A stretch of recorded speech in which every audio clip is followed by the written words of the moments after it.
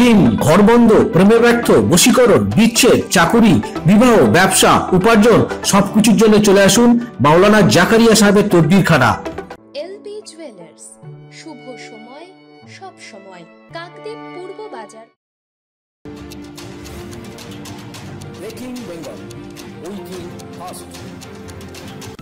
মালদহ জেলার হরিশ্চন্দ্রপুর থানা এলাকার তুলসীহাটায় একটি নেশামুক্তি কেন্দ্রের চিকিৎসার নামে মাদকাসক্ত যুবকদের মারধর করার অভিযোগ উঠেছে।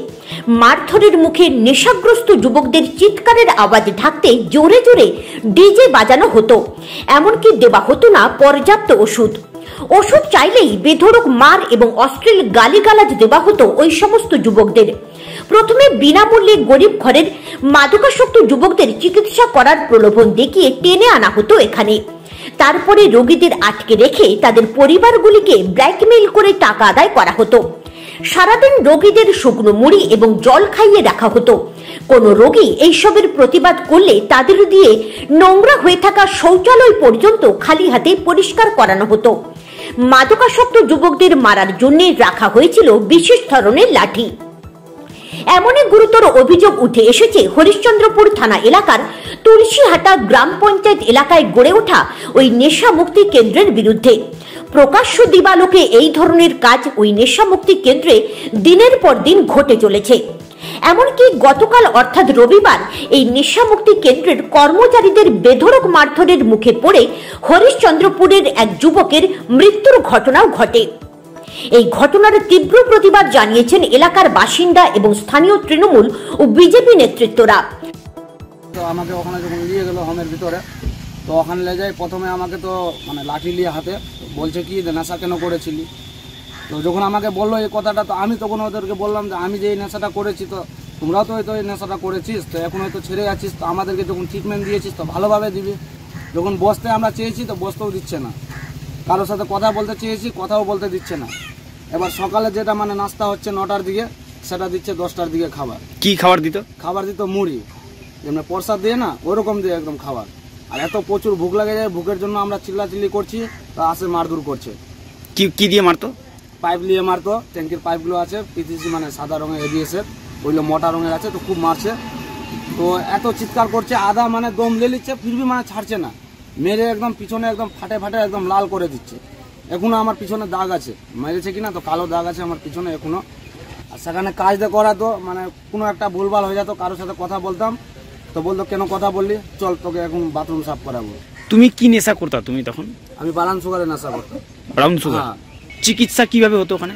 চিকিৎসা হতো এটাই যে আমার শরীরের কোনো শারীরিক কন্ডিশন হতো তো ওখানে কোনো মেডিসিন দিত না। কি দিত? খালি বলতো দাঁড়া দশ মিনিট পনেরো মিনিট এরকম করে মানে টাইমটা সময়টা কাটিয়ে দিত সারাদিন। ওরা বাইরে এসে বলছে যে ভিতরে খাওয়া দাওয়া কম খিলায় বা মারধরটা প্রচুর করে আমাদের।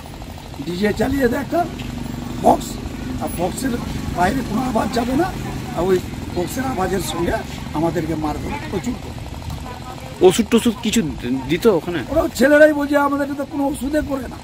ওখানে পাঁচ মাস ছ মাস একটা রুমে সবাইকে বন্ধ করে এটাই ওষুধ আমরা চাইছি যে এটা লুট বন্ধ। সমাজসেবকের নাম করে যে লুট করছে, এগুলো বন্ধ। ওই মৃত যুবকের নাম শওকত আলী, বয়স বত্রিশ।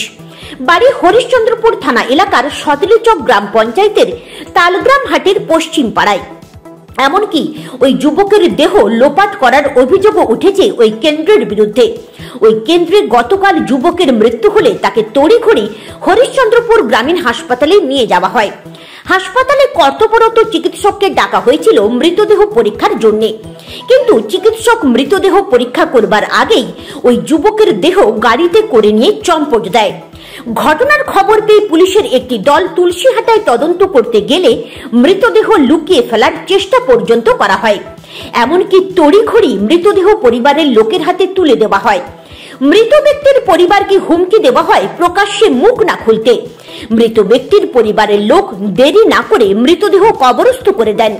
এমনকি নেশামুক্তি কেন্দ্রের কর্মকর্তাদের চাপে ওই মৃত ব্যক্তির পরিবার পুলিশেও অভিযোগ জানাননি। এমনকি ওই মৃত যুবকের দেহ ময়নাতদন্ত পর্যন্ত করা হয়নি। এই ঘটনা নিয়ে ওই নেশামুক্তি কেন্দ্র কর্ণধারের একটি অডিও রেকর্ডিং ভাইরাল হয়েছে ইতিমধ্যেই। এবার কাল রাতে সুস্থ মতো খাওয়া দাওয়া করেছে রাত চিৎকার চেঁচামেচি যেহেতু সাইকো আমাদের নেশা করে যেগুলো সাইকো হয়ে যায় ওদের একটু রুম আলাদা আছে। এটাকে ট্রিট করতেন আমাদের ডক্টর আছেন জঙ্গির জাহাঙ্গীর আলম সাহেব সাহেব আছেন হ্যাঁ। উনি ট্রিট করতেন আচ্ছা। ঠিক আছে হ্যাঁ এবার রাত্রে প্রচুর চিৎকার প্রচুর চিৎকার চেঁচামেচি হচ্ছে। তাহলে চিৎকার যেন কারও কোনো ক্ষতি না করে আমরা হাত পা বেঁধে দিই হাত বেঁধে দিই। জেনারেলি কোনো ভাগটাল হয় না কোনো কিছু হয় না মনে যে ফুটেজও আছে অসুবিধা নেই। সকালে উঠেও সেই লেভেলে চিৎকার চেঁচামেচি আর ধাক্কা যাচ্ছি ঠিক আছে? ছেলেগুলোর সাথে ভিতরে যে রুমগুলোতে আছে। সেই জায়গায় ওই সেম ফর্মুলা মেডিসিন তো খালি পেটে আর সাইকোসের মেডিসিন দেওয়া যাবে না। আর মেডিসিন আবার খাবার টাইম হচ্ছে সাড়ে নটা। নটার পরে যে আপনার গিয়ে কেস বেঁধে ও এবার শান্ত হয়ে গেল ডাক্তার পর আর কোনো সারা দিচ্ছে না। এবার আমাকে দেখাল, আমি আসলাম, আমি আসার পর তাড়াতাড়ি নিয়ে গেলাম হসপিটাল হসপিটালে গিয়ে বলছে, আর নেই। আমি যেহেতু আমি হরিশ্চন্দ্রপুরেরই ছেলে তুলসীহাটাতেও আমার চেম্বার আছে একটা তো এই মাত্র মাস দুয়েক আগে আমি জানতে পারি যে তুলসিয়াটায় একটা নাকি নেশা মুক্তি কেন্দ্র হয়েছে। ওনারা আমার সাথে যোগাযোগ করে আমি আমি তো যেহেতু কলকাতায় জানি, আমাদের পেশেন্ট টেশেন্ট আসলে আমরা কলকাতায় পাঠাই ওগুলো। তো জেনে আমি খুব খুশি হয়েছিলাম যে যাক তুলসীহাটার মতো জায়গায় যদি একটা নেশা মুক্তি কেন্দ্র, যেটা তো খুব ভালো উদ্যোগ, তো ওনারা আমাকে বলেছিলেন যে, ডাক্তারবাবু, একটু নেশার যে ট্রিটমেন্টগুলো ওগুলো তো আমরা, আমাদের ডাক্তার আছে, আমাদের উপমহারতী আছে, আমরা করি। ওই যে লোকগুলো থাকে, তাদের যদি জ্বর, সর্দি, কাশি, মাথা ব্যথা কিছু হলে পরে একটু দেখে দিবেন।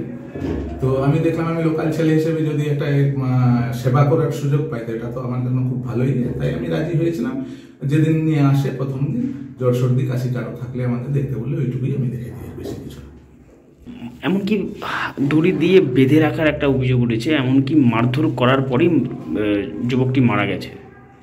আমি গেলে ওনাদের এই যে যেমন আমি এই চেম্বারে বসে আছি এরকম একটা বাইরেই চেম্বার আছে। দরজা খুললে ওখানে বসি ওখানে ডেকে কারও ওইটাই আমি এখন আমার কাগজে লেখাই থাকে জ্বর সর্দি কাশি কিছু আছে কিনা পালস প্রেসার এগুলো কিছু বেশি আছে কিনা, এইটুকুই লিখি। তারপর ওদের ভিতরে কি হয়, আমি ভিতরে ঢুকে দেখিও না, কোথায় কি রাখে, ওদের নেশার ব্যাপারটাই ওটাতে আমি, আর ওই একটাই ভিজিট একটা ভিজিটের পরে আমি আর কোনো, ওরা ওদের কি দিয়ে ট্রিটমেন্ট হয়, ওখানে বেঁধে রাখে না, খোলা রাখে, কি খাওয়ায়, কি করে, এগুলো সম্বন্ধে আমার কোনো নলেজ নেই। না, যেদিন প্রথম দিন নিয়ে এসেছে ডেটটা আমার একজাক্ট মনে পড়ছে না, একবার আমি দেখেছি। কতদিন? যখন প্রথম দিন নিয়ে আসে ওরা সেন্টারে ওই দিন ওদের কোনো যদি শরীরে জখম থাকে কোনো রকম জ্বর সর্দি থাকে এইগুলোই এই জাস্ট আর কি। নেশার তারপরে কি ট্রিটমেন্ট হয় তো না হয় যুবকটি মারা গেছে এটা আপনি শুনেছেন এটা কালকে হ্যাঁ শুনেছি মানে ওই সেন্টারে আমার বোধহয় অনেকদিন এখন যাওয়া হয়নি জাস্ট শুনেছি যে মরেছে গোটা ঘটনাকে ঘিরে তীব্র চাঞ্চল্য ছড়িয়েছে হরিশ্চন্দ্রপুর থানা এলাকায় গোটা ঘটনায় পুলিশ প্রশাসন কেন নিশ্চুপ রয়েছে? এই নিয়ে প্রশ্ন তুলেছেন এলাকার স্থানীয় বাসিন্দা থেকে শুরু করে রাজনৈতিক দলের নেতারাও। জানা গিয়েছে, ওই নেশা মুক্তি কেন্দ্রের মালিকের নাম অভিষেক মুরারকা। তিনি স্থানীয় ব্যবসায়ী বলে পরিচিত। যে ব্যক্তি নেশা মুক্তি কেন্দ্রের মধ্যে ভর্তি ছিল, তাকে সরকারি হসপিটালে নিয়ে আসা হলো। বাইরে রেখে বুঝলেন? ডাক্তারবাবু দেখার জন্য আস্তে আস্তে ওই বডিটাকে নিয়ে পালিয়ে যায়। এটা প্রশাসন কীভাবে দেখে বডিটাকে দিয়ে দিল পোস্টমর্টম না করে? এবং আমি বলব, সমস্ত প্রশাসন, এরা সম্পূর্ণ এই ঘটনার মধ্যে জড়িত আছে। যদি প্রশাসন জড়িত না থাকে, তাহলে একটা, এক- কোনো ব্যক্তি যদি মারা যায়, কোনো কোনো সংস্থার মধ্যে, তার পোস্টমর্টম হয়। তার পরিবারের হাতে কীভাবে বডিটা দেওয়া হলো, এটা আমাদের একটা প্রশ্ন। আর সেই সংস্থাটা কীভাবে তৈরি হলো কে অনুমোদন দিল? আমরা তো জানি না, এখন একটা তুলসিয়াটার মধ্যে একটা নেশা মুক্তি কেন্দ্র আছে। কীভাবে হলো? আমরা এগুলো বলব সম্পূর্ণ তদন্ত করার জন্য। সঠিক তদন্ত যদি না হয়, তাহলে আমরা বৃহত্তর আন্দোলনে যেতে বাধ্য হব। যে দশ পনেরো দিন আগে তুলসী একটা নেশা মুক্ত কেন্দ্রতে এক লোককে ওখানে দিয়েছিল। তো ওই লোকে ওখানে ট্রিটমেন্ট করছিল নাকি? হাত পা বেঁধে টর্চার করছিল নাকি ওনাকে? দশ পনেরো দিন ধরেই টর্চার করছিল, কালকেও অনেক করেছে নাকি? তো ওই লোকটা নাকি ওদের, যা শুনতে পেয়েছি ওদের মুখ থেকে, তাদের মুখ থেকেই যা শুনতে পেলাম যে ও মারা গেছে নাকি। ওই ডেড বডিটা নিয়ে এসেছিল নাকি হসপিটালে আমি তড়িঘড়ি করে আমি হসপিটালে এসেছিলাম, এসে দেখি ডক্টরদের সঙ্গে কথা বলি, যে কি ওই সৈকত আলী বলে কোনো পেশেন্ট এসছে কি আপনার এখানে? বা ডেড বডি এসছে কি? তো ডক্টর সাহেব বললেন যে না, একটা এসছিল ডেড বডি নাকি? শুনলাম নাকি ওকে ওখানে খুব টর্চার করা হতো, মারধরও করা হতো। ওই মারধরের কারণে নাকি মারা গেছে। আমি শুনতে পেয়েছি। আমার যুব ভাইরা ওখান থেকে বলেছেন যে বডিটাকে লোপাট করার চেষ্টা করেছে। তারপরে কিছুক্ষণ আগেও আবার খবর পেলাম, নাকি বাড়িতে দিয়েছে। এবার কেমন করে এটা হতে পারে? হসপিটালে আসলো ডেড বডি পোস্টমর্টম হবে। ওর সঙ্গে ন্যায় হয়েছে না অন্যায় হয়েছে? এটা তদন্ত করে দেখলে খুব ভালো হতো। Bureau report, breaking Bengal. খবরগুলি নিয়মিত দেখতে চ্যানেলটি সাবস্ক্রাইব করুন ও বেল আইকনে ক্লিক করুন।